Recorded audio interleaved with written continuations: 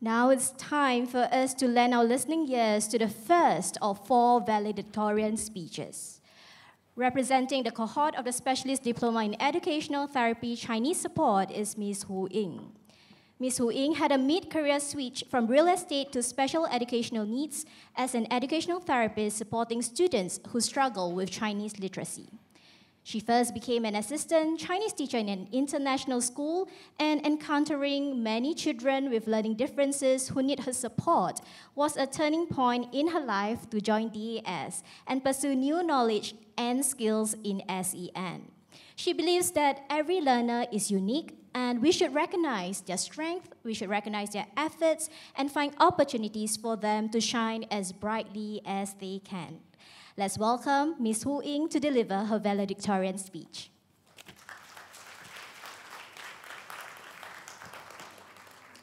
Good morning, ladies and gentlemen, distinguished guests and faculty members, and my fellow graduates. It is great honor to be here today.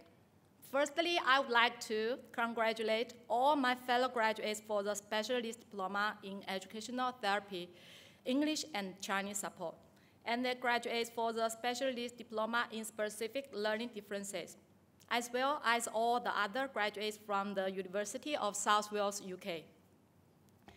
Today, I'm going to share with you about how I became an educational therapist. In the past, if someone asked me what I wanted to do as my profession, I would never say that I would be a Chinese teacher. The reason is not because I don't like teaching. On the contrary, it is because a teacher is burdened with a lot of responsibilities. I think that I'm not fully prepared for it. And it is absolutely impossible for me to be competent in teaching. In my opinion, teachers, like doctors, are not just a profession. Doctors are responsible for the lives of their patients, just as teachers are responsible for the future of their students. Just imagine if you are a salesperson and your performance is not good this month, you can catch up next month. If you are a designer and your drawing is not so good, then you can also continue to work hard and wait for the next chance. But as a teacher, can we wait for the next chance? The answer, of course, is no. As we all know, each student needs to learn the corresponding knowledge in different learning stages, such as thinking development will start from the age of three, and the language development will start from the age of four.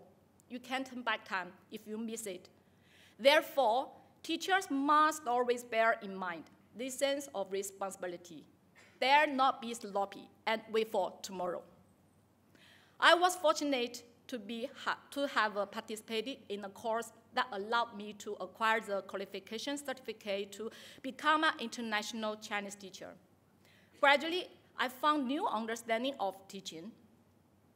It only improved my professional skills, but also built up my confidence. Then I had the opportunity to join a local international school as an assistant Chinese teacher. In my daily work, I've encountered many children with learning difficulties, such as ADHD, ADD, and ASD. The students, parents, and teachers are all struggling with these learning difficulties. I was wondering if there is a special education that can help them. Later on, I heard the word educational therapist for the first time. And I felt amazing that the two professions of a doctor and a teacher could be combined. I became very interested in this profession of dual responsibility, and I wanted to know how to heal someone by teaching someone. Thus, I joined DAS. During this year's learning and teaching in DAS, I've gained a deep understanding of children with dyslexia and, learning, and other learning difficulties. Many of my students want to speak Chinese, but they are not speak due to lack of confidence. They want to learn Chinese, but do not know the way to learn it. These students and their parents have long been in this helpless state. So this has made me think that I'm not just concerned about teaching them how to read and write and their school grades. What I need to heal exactly is the heart of these children who are in the state of alert helplessness.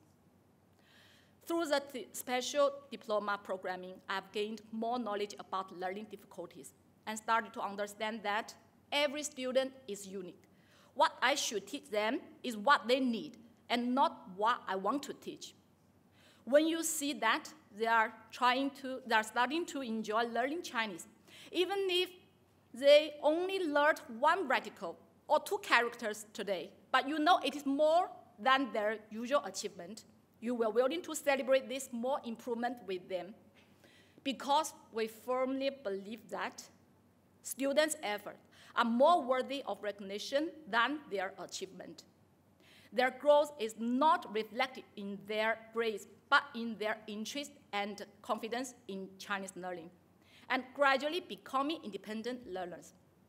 I believe this is also the initial intention and expectation of every educational therapist in DAS to ensure that our students do not lose hope in learning and never give up on trying. Today, I have achieved my diploma qualification, which is just the only proof that I'm qualified to become an educational therapist. It is still a long way to go in education and new knowledge to learn in the future. I must stick to our initial intention, hold on to the sense of responsibility as a teacher, keep learning and self reflection, hope to help every child with learning difficulties, and have the honor to witness their growth. Furthermore, I would like to express my deep appreciation to all of our lecturers and tutors for the invaluable guidance and encouragement.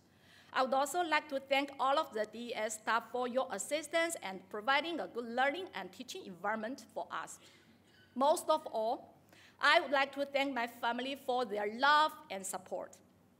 In conclusion, I would like to end my speech with a Chinese perspective on education. Education is to know that every student has their own unique colors, recognize them, and let them shine through their own talents and hard work.